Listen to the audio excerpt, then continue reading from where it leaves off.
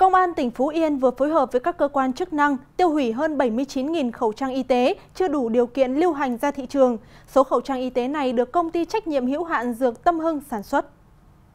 Khẩu trang được sản xuất bằng máy móc, nguyên vật liệu không bảo đảm, nhưng công ty tự công bố chất lượng sản phẩm và tổ chức bán ồ ạt ra thị trường. Từ giữa tháng 10 năm 2019 đến nay, bình quân mỗi ngày, công ty này sản xuất và bán ra thị trường 20.000 khẩu trang y tế cho các cửa hàng và đại lý thuốc Tây trên địa bàn tỉnh Phú Yên. Trước đó, lực lượng chức năng tỉnh Phú Yên cũng xử phạt công ty Dược Tâm Hưng 70 triệu đồng.